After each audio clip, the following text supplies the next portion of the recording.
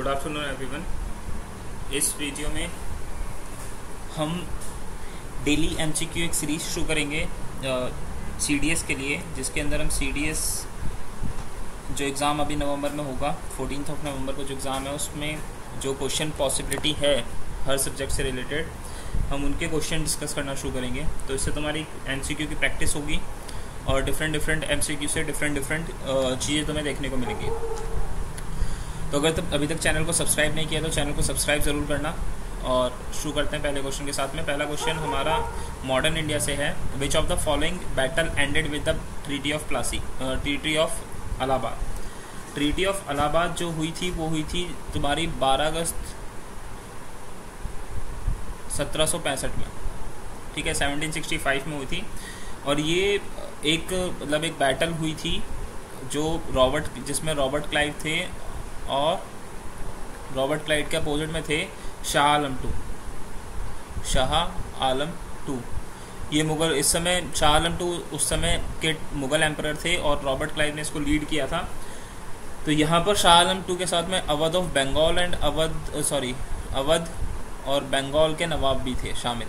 ठीक है तीनों ने मिलकर वॉर लड़ी थी रॉबर्ट क्लाइव ब्रिटिश के ईआईसी e के खिलाफ और इसमें इनकी हार हुई थी। तो उसके बाद एक ट्रीटी ऑफ़ अलाहाबाद साइन हुई, ठीक है, कब हुई? 1765 में। तो ये है battle of Buxar battle of Buxar के बाद जो कि हुई थी 1764 में, इसके बाद ट्रीटी ऑफ़ अलाहाबाद साइन हुई थी। इस ट्रीटी की वजह से जो ब्रिटिशर्स का जो मतलब एक तरीके कह सकते हैं कि ब्रिटिशर्स की इन्फ्लुएंस इंडिया में बढ़ गई थी।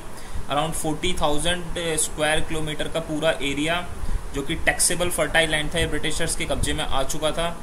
तो ट्रीटी ऑफ़ अलाहाबाद याद रखना इंपॉर्टेंट है। बैटल ऑफ़ बक्सर के बाद 19 सॉरी 1764 नॉट 1964 1764 और ये 1765 में।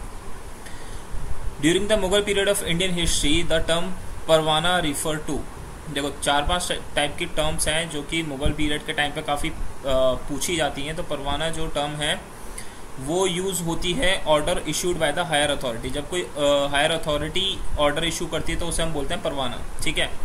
अगर एम्पर कोई ऑर्डर इशू करते हैं तो उसे बोलते हैं फरमान। ये तुम मॉडर्न इंडिया में तुम काफ़ी बार पढ़ चुके होंगे, फरमान पास किया था तो फरमान अगर कोई एम्पर ऑर्डर देता है तो उसे बोलेंगे फरमान। अगर order of a member of royal family अगर किसी रॉयल फैमिली के मेंबर ने ऑर्डर दिया है तो उसे बोलते हैं निशान, ठीक है? और प्रोसीडिंग ऑफ़ प्रोविंशियल कोर्ट जो प्रोविंशियल कोर्ट की प्रोसीडिंग थी वो थी सियाह हुजूर।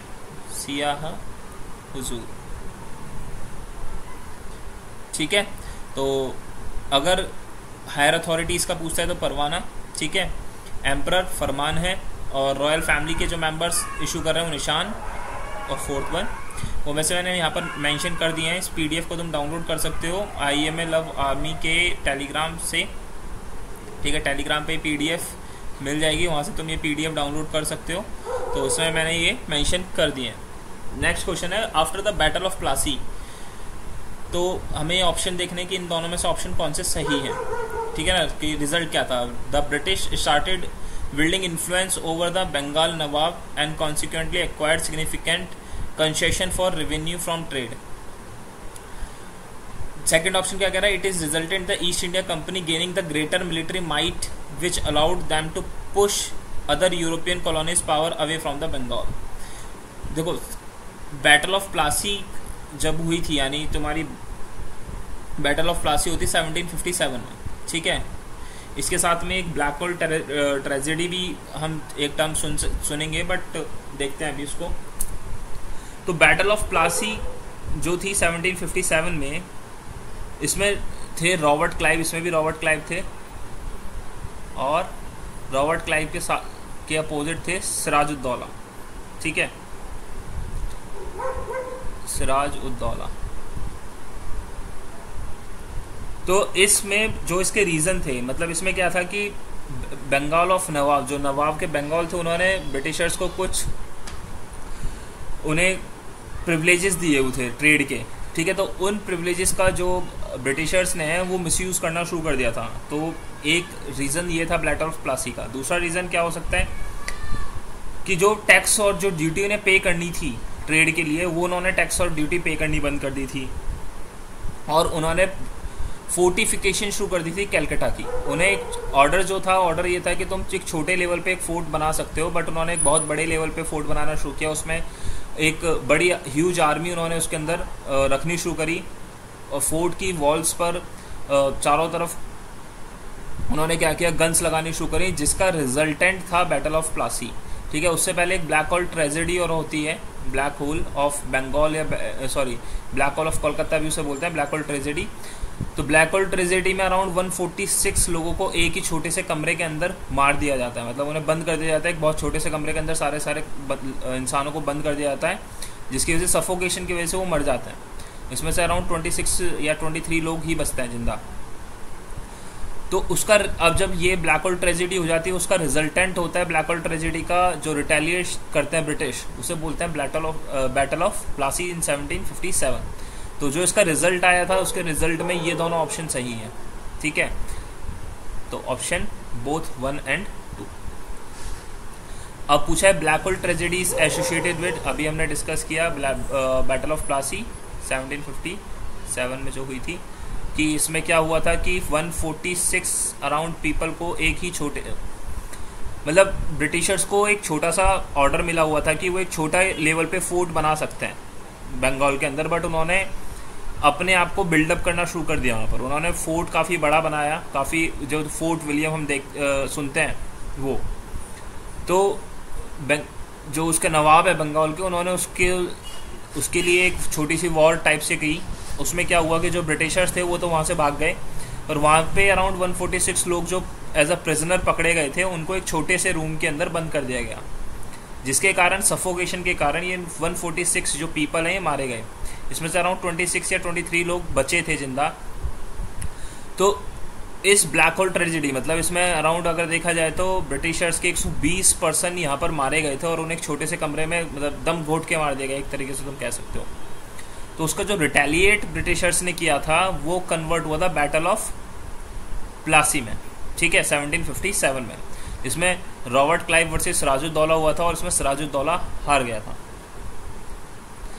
फिर नेक्स्ट क्वेश्चन है the main objective of Prarthana Samaj was to प्रार्थना समाज जो फाउंड की गई थी, वो की गई थी 1867 में। 1867 में इसे फाउंड किया था आत्माराम पांडुरंग ने। आत्माराम आत्माराम पांडुरंग। ठीक है? 1867 में इसको फाउंड किया आत्माराम पांडुरंग तो इसमें क्या था? या ये प्रार्थना समाज का जो क्या था मेन ऑब्जेक्टिव ये मोनोथिज्म की तरफ़ बोलते थे जाने को। मतलब सिर्फ़ एक भगवान को मानने के लिए बोलते थे, ठीक है? इन्होंने वाइडली सारे सारे रिलीजन्स की, जैसे कि जैनिज्म हुआ क्रिश्चियनिटी हुई बुद्धिज़्म हुआ, सबकी जो रिलीजियस टीचिंग थी उनको एक्सेप्ट किया था। जो कास्टिज्म का सिस्टम इंडिया में था, उसको ये डिनाई करते थे। Widow remarriage widow remarriage को प्रमोट करते थे, ठीक है? जो चाइल्ड मैरिज होती थी, इसके खिलाफ थे ये। चाइल्ड मैरिज के खिलाफ थे टोटली इसके वो प्रमोट कर रहे थे। विमेंस एजुकेशन के लिए को प्रमोट कर रहे थे ये। ठीक है? तो प्रार्थना समाज जो फाउंड हुई थी 1867 आत्मारंग, पांडुरंग ने ये आइडल वर्शिप के भी खिलाफ थे। मतलब प्रार्थना प्रार्थना समाज वाले आइडल वर्शिप के भी खिलाफ थे मोनोथिज्म के लिए। मतलब कि सिंगल गॉड को प्रे करो। ये इनका कॉन्सेप्ट था। तो इनका कॉन्सेप्ट अगर हम देखें तो स्टैब्लिश स्वतंत्र इंडिया ये नहीं है। फिर क्या है securing social justice for oppressed मतलब यहाँ पे कास्टिज्म जैसे की बात करें तो ऑप्शन बी सही है। ठीक है? नेक्स्ट क्वेश्चन देखते हैं।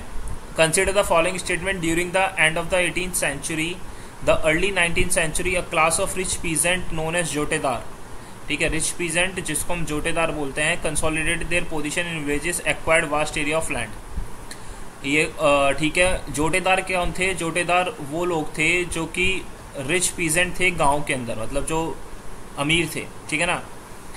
तो इनकी जो गाँव में पोजीशन थी काफ़ी थी और ये जो गाँव के लोग हैं, उन्हें जो देखते हैं ना, पुरानी मूवीज़ में देखते हैं कि वो एक ठाकुर होता है मतलब दिखाते हैं जैसे कि एक बहुत बड़ी हवेली होती है, उसमें एक जमींदार होता है है ना?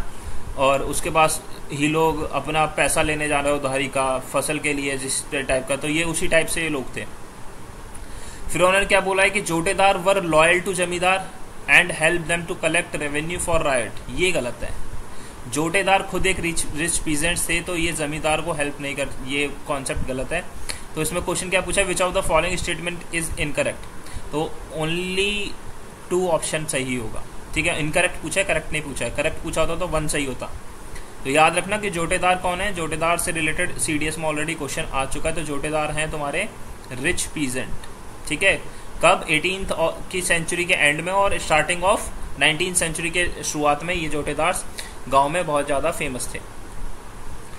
फिर पूछा है नेक्स्ट क्वेश्चन है during the time of British Raj the term amla refers to देखो, जो ये वाली जो टर्म है, ये वाली जो टर्म यहाँ पर लिखी है, और इसका जो सेकंड ऑप्शन है, यहाँ अगर ये जोटेदार की जगह अमला कर देता तो ये ऑप्शन सही हो जाता। ये लोग हैं जो कि हेल्प करते हैं ऑफिसर ऑफ़ जमींदार। ये जमींदार के ऑफिसर्स हैं जो कि उन्हें हेल्प करते हैं टैक्स कलेक्शन और इन सब में। ठीक है? तो अगर हम पिछले वाले क्वेश्चन की बात करें, वहाँ पे जोटेदार की जगह अगर इस अमला की बात होती तो वो ऑप्शन ये सही था। फिर है consider the following statement regarding the Bhoodan movement Bhoodan movement की अगर हम बात करें तो ये इनिशियली जो स्टार्ट किया था, ये आचार्य विनोबा भावे ने स्टार्ट किया था।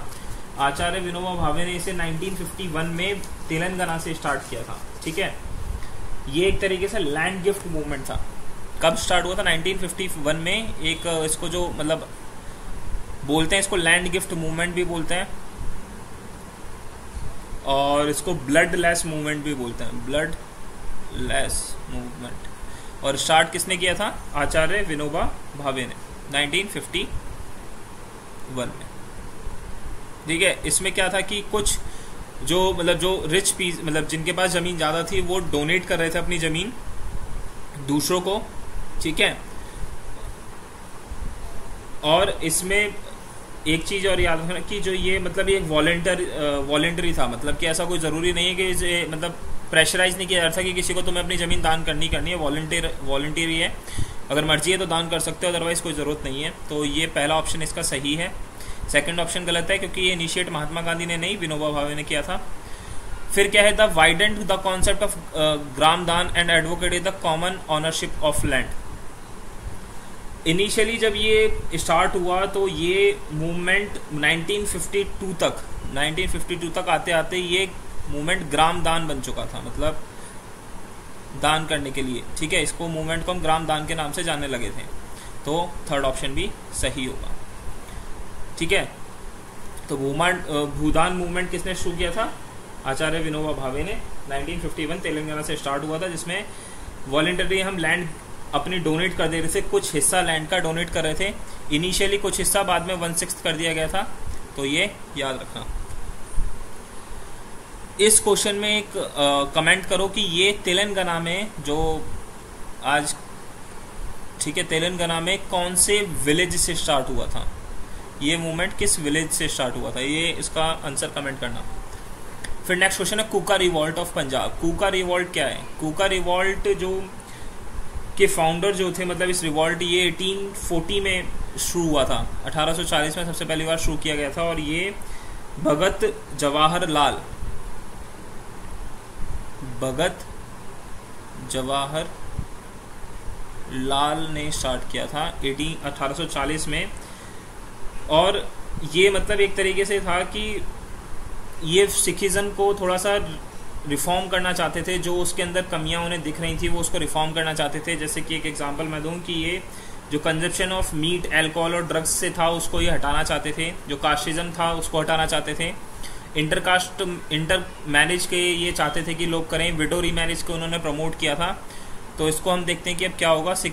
Making Sikh land independent from British control ये गलत है।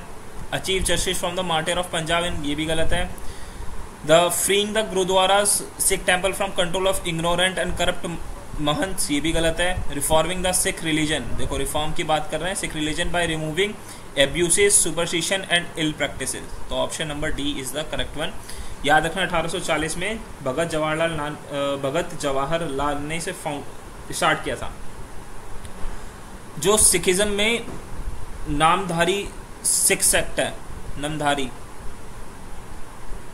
ठीक है? ये भी इन्होंने ही स्टार्ट की थी, भगत जवाहरलाल ने। तो ये हमारे कुछ क्वेश्चन थे जो हमने हिस्ट्री के लिए हैं। इंपॉर्टेंट हैं for C D S purpose ऐसे ही डेली हम किसी ना किसी सब्जेक्ट के 10-10 12-12 क्वेश्चन को पिक करेंगे, उसको डिस्कस करेंगे।